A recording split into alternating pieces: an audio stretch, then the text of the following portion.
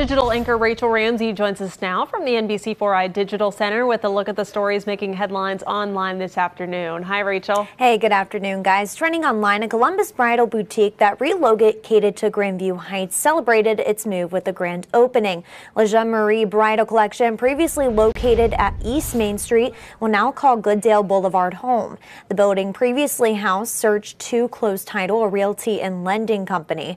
The founder and CEO of the boutique said the company prides itself on size inclusive selection and diverse price points. For more on the location, just go to our website. A years long effort to construct nearly 400 homes across more than 100 acres in Dublin has once again been delayed. The Dublin Planning and Zoning Commission tabled a proposal by Edge October 12th for the proposed Amlin Crossing neighborhood, a development seeking approval since 2021. The commission expressed concern and found the proposal did not meet a majority of the criteria set by the city. Now, the commission said Edge's plans feature subpar townhome designs, lack bike trails, and include 90 degree parking, which is not permitted, and more. For additional information on that proposal, just go to NBC4i.com. Meanwhile, Netflix is raising its subscription prices again. The streaming platform increased its premium ad-free plan by $3 a month to $22.99.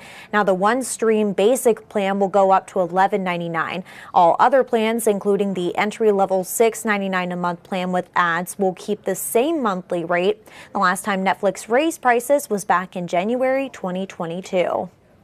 And it's almost the weekend, and there are plenty of fun events happening in Central Ohio. The Great Westerville Pumpkin Glow will be held at Heritage Park until Sunday. Saturday at the Ohio Village, it's All Hallows Eve from 5.30 to 9.30.